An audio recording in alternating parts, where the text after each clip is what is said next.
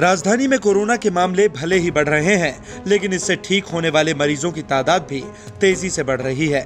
इस बात का अंदाज़ा इसी बात से लगाया जा सकता है कि सितंबर में अब तक सतहत्तर हज़ार से ज़्यादा मरीज़ कोरोना से ठीक हो चुके हैं। ऐसा पहली दफ़ा हुआ है कि एक महीने से भी कम समय में इतने मरीज़ ठीक हुए हों। दिल्ली स्वास्थ्य विभाग के मुताबिक, राजधानी में अब तक दो लाख चालीस हज़ार सात सौ तीन लोग संक्रमण से उभर चुके हैं। इनमें से सतहत्तर हज़ार दो सौ चौंतीस लोग सितंबर में ही ठीक हुए हैं और रोज़ाना लगभग पैंतीस सौ से चार हज़ार मरीज़ कोरोना को हरा रहे हैं। इससे दिल्ली का रिकवरी रेट भी अब अठासी दशमलव एक तीन प्रतिशत तक पहुँच गया है। दिल्ली सरकार के एक अधिकारी के मुताबिक बेहतर मैनेजमेंट से यह सफलता हासिल हुई है।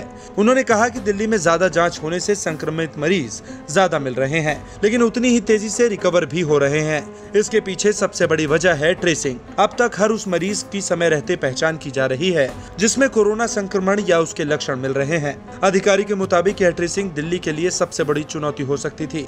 अगर मरीज़ एक या दो नहीं बल्कि चार या आठ दिन में पता चलते। इसलिए इसमें काफ़ी हद तक सहयोग दिल्ली के लोगों का रहा, जिन्होंने आगे आकर अपनी जाँच कराई या कंट्रोल रूम में कॉल करके मदद ली।